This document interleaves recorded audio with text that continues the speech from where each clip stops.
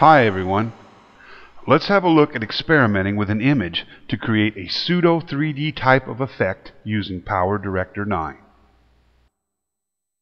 This technique requires using a photo editing program to modify and clone various elements in a photo and then isolating these elements on a transparent background using a photo editing application.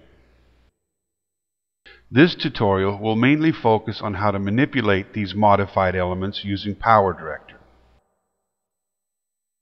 For detailed instructions on cloning and creating transparent backgrounds in your preferred photo editor, see your application's help files and the various photo editing program tutorials available on YouTube, including the see-through tutorial available here on the PDtoots channel. So let's get started. To create a 3D type of effect for this particular image, we'll isolate three separate elements. The foreground, the midfield, and the background. But we need to also expand each of the isolated elements to allow for movement. This is done by using the cloning and copying tools found in a variety of different photo editing programs. To do this, open your image in a photo editing program like Photoshop or any of the free programs like Paint.net or Sumo, or whatever other program you prefer.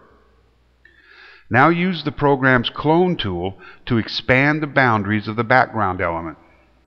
Then repeat the cloning process with the midfield and foreground elements. Once you've completed modifying these two elements, then isolate them on a transparent background and save them as a PNG image file. Now that we've isolated our elements, we can now import them into PowerDirector 9. Place the background element in track number 1, the midfield element in track number 2, and the foreground element in track number 3.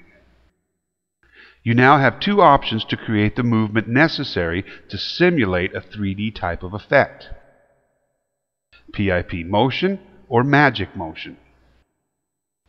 For this demonstration, we'll use magic motion. Choose the user-defined motion template. At the first keyframe, size and place your crop to about here. At the second keyframe, place and crop to approximately here.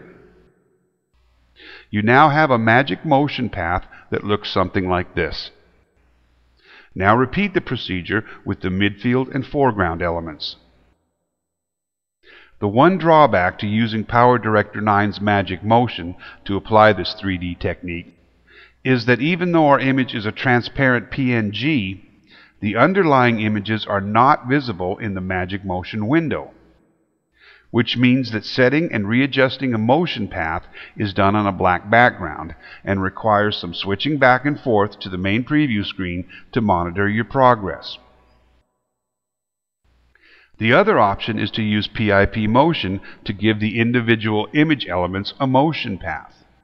For instructions on how to create a motion path in PIP Designer, see the keyframes and PIP motion tutorial available here on the PDtoots channel.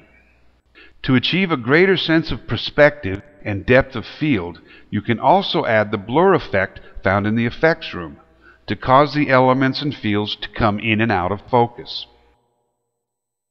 The technique is a bit labor intensive and does require numerous adjustments to fine tune the elements but it is a viable option and a way to breathe a little extra life into selected images and add a little, well, nice touch to your productions.